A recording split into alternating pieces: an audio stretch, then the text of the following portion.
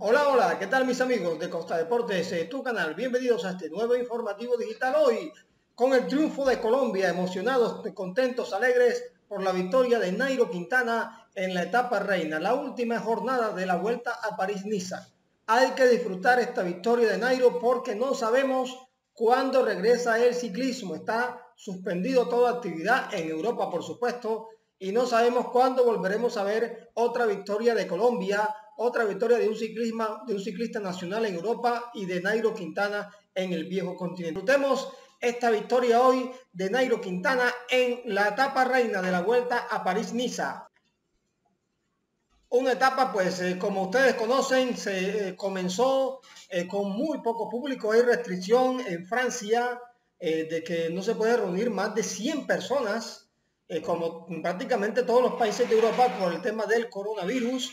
La etapa comenzó con las calles desoladas eh, en la jornada de hoy, en la última, porque eh, recordemos la París-Niza terminaba este domingo, es decir, mañana, pero por el tema del coronavirus decidieron suspender. Ya vemos la imagen de Nairo que se estaba preparando para el ataque de hoy, atendiendo los medios de comunicación. Sabíamos de que Nairo hoy iba a lanzar un fuerte ataque y solamente era cuestión de tiempo en qué momento el ciclista colombiano iba a lograr ese ataque fulminante. Desafortunadamente hoy el ataque fue demasiado tarde, eh, después de los últimos cuatro kilómetros le alcanzó para descontarle el tiempo que llevaba el líder de la etapa hasta ese momento, Thomas de pero no le alcanzó para meterse en el top 5 de la clasificación general, es decir, ganar la etapa reina, por supuesto. Imágenes de la partida de hoy en la Vuelta a París-Niza, que también tenía otra gran expectativa, que era la del antioqueño Sergio Higuita, eh, con posibilidades de triunfo. Estaba solamente a un minuto,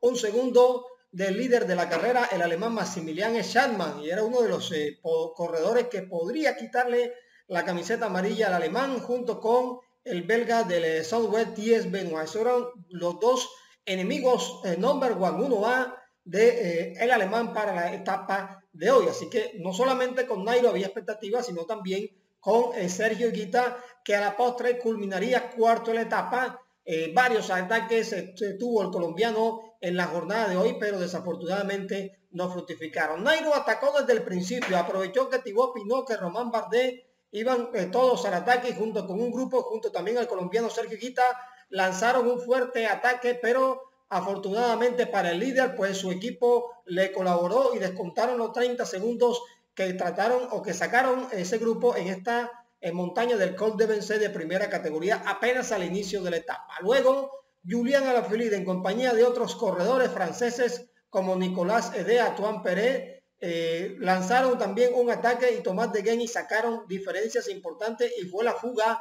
que predominó en la etapa. Fue la fuga que llegó hasta los últimos cuatro kilómetros de la jornada con el belga Thomas de Gain al cabeza de carrera. Quedaron eh, solamente eh, tres corredores de Gain, Julián Alaphilippe y un corredor del equipo AG2R La Mundial. El Arkea no metió ningún corredor en esta fuga eh, principal. El Education Fear de Sergio Guita sí colocó al italiano Alberto Betiol, ganador de la Lieja Bastón Lieja, pero el Arkea no pudo colocar a ningún el corredor. El Arkea sí trató de realizar eh, una jugada, una táctica de la escalera con Vider Anacona que se fue con Guillón Martán tratando de buscar apoyo para Nairo Quintana cuando Nairo atacara. Allí pues ya sabíamos de que el colombiano iba a atacar en cualquier momento y por eso Vider Anacona fue lanzado por el, director deportivo Yvonne Ledanois para tratar de ayudar a Nairo cuando este atacara, pero no le alcanzó a Anacona porque el francés Guillaume Martin le colocó un paso muy violento en la montaña y lo soltó. Posteriormente, Anacona eh, terminó arropado por el grupo, así como también Julián Alaphilippe y también Guillaume Martin. Y el único que sobrevivió a ese, eh, digamos, eh, arremetida del pelotón principal ya en, los primeros kilómetros de la Colmenie, que fue el premio de montaña de fuera de categoría, donde terminó la última etapa hoy de la Pariniza, fue Thomas Degen. Pero sucedió esto, mis estimados amigos. Vino el ataque de Nairo Quintana cuando el grupo apenas tenía alrededor de 11, 12 ciclistas, donde estaba el líder Maximilian Echalma, donde estaba Thibaut Pinot, donde estaba Sergio Higuita, y el ataque del colombiano fue implacable. Fíjese usted cómo sale por el sector derecho de la carretera eh, dejando atrás a los dos corredores del Trek Segafredo, quien estaban poniendo paso Vincenzo Nibali y Kenny Elson, el francés. Pero Nairo, con un paso impresionante, rompió en mil pedazos. El grupo aquí se quedaba, eh, Bardet se quedaba el Kanger, los dos primeros que salieron del grupo principal en ese ataque fantástico del colombiano. Y empezaron, mis amigos, a eh, acumularse los kilómetros y empezamos pues a buscar en lo que podía ser el descuento de Nairo en esta etapa final de la Vuelta a París-Niza.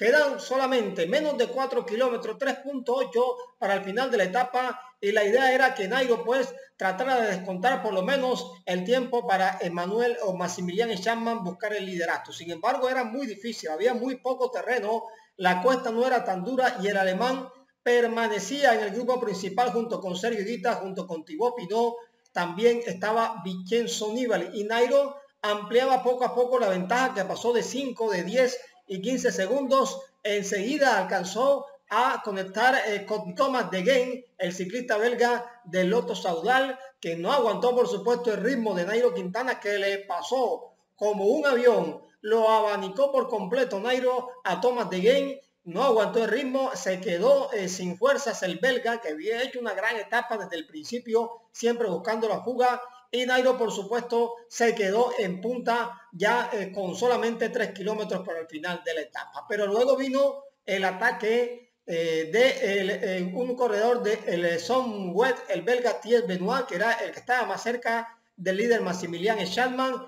Ese ataque provocó un descuento en la diferencia de Nairo Quintana, que hasta ese instante ya tocaba el minuto, pero la arremetida de Benoit también y la arremetida de Sergio Guita, que en varias oportunidades eh, trató de, sacudirse de Maximiliano Chama, pero no pudo, no pudo ni Guita, no pudo tampoco Thibaut Pinot, ni Nibali.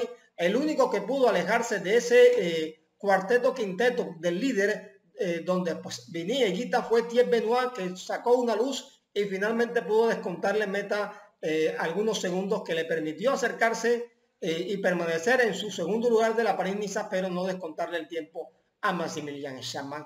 Y eh, Nairo Quintana, el fuerte paso le permitió ganar la etapa sin ningún tipo de inconveniente. Aquí vemos el paso del ciclista eh, colombiano firme, sin problemas, sabía que iba a ganar la etapa, sabía que iba a conseguir otro triunfo en otra jornada reina en, el, en Francia, ya lo había logrado en la Provence, lo había conseguido en el los Alpes, en el Tour de los Alpes Marítimos y ahora lo consigue en la París-Niza. Nairo Quintana que ganaría la etapa con una diferencia de casi 50 segundos sobre el segundo lugar y también metiéndose en la sexta casilla de la clasificación general individual de la etapa de hoy. Nairo fue entonces eh, ganador y Guita fue cuarto en la etapa y en la clasificación general queda definitivamente así.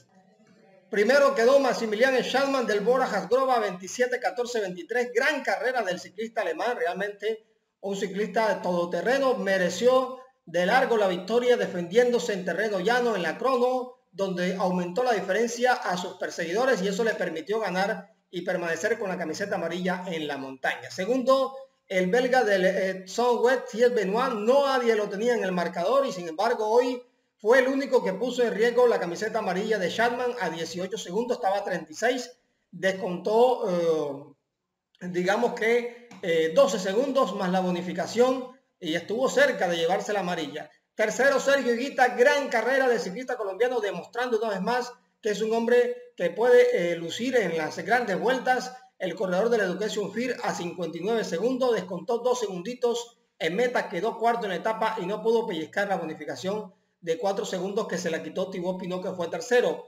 Cuarto lugar, Vincenzo Nibali del Trek a 1.16. Quinto, Thibaut Pinot el francés del Grupama 1.24, sexto Nairo Quintana, que saltó de la casilla 12 a la sexta a 1.30, estaba a 2.38, es decir, descontó minuto 38 a Salzman, el séptimo Rudy Molar del Grupama 2.03, octavo Tanel Kanger, el corredor estonio de la Education Fir que ayudó mucho y quita en la montaña a 2.16, noveno Felix Groscharner, el austríaco del Bora que no aguantó hoy, desde bien temprano se quedó en la colmenía en el ascenso a 3.39 y décimo quedó Sergio eh, Kroos Andersen, ganador de la crono en la etapa eh, contra de eh, la Vuelta a París-Niza a 4 minutos 36 segundos. Se resume, mis estimados amigos de Costa Deportes, una gran participación de Colombia en la Vuelta a París-Niza. Definitivamente una lástima que la última etapa haya sido cancelada porque perfectamente allí eh, Onairo o Sergio Guita hubiesen podido optar por la camiseta final de líder de la Vuelta a París-Niza. Gracias